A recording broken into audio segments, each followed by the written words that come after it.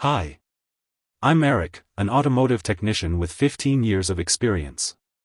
This video is going to explain the meaning of this error code, and show you how to diagnose and fix it.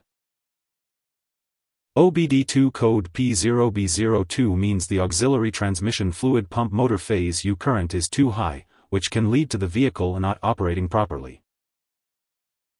When you encounter this OBD error, the vehicle typically exhibits the following symptoms, vehicle will not operate. Now we talk about possible causes, and how to diagnose and fix. Power inverter module failure.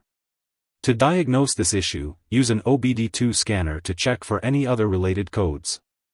Then, inspect the power inverter module for any visible damage or loose connections.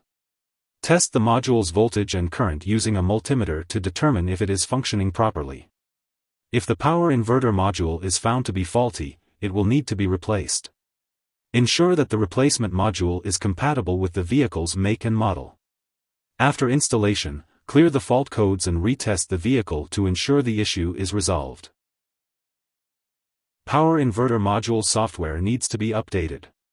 Begin by checking for any available software updates for the power inverter module from the vehicle manufacturer. If updates are available, follow the manufacturer's instructions to download and install the latest software version. After the update, clear the fault codes and test the vehicle to verify if the issue is resolved. Updating the power inverter module software may resolve the P0B02 code. Follow the manufacturer's guidelines carefully to ensure the correct installation of the software update. If there are uncertainties, feel free to engage in discussions by leaving a comment.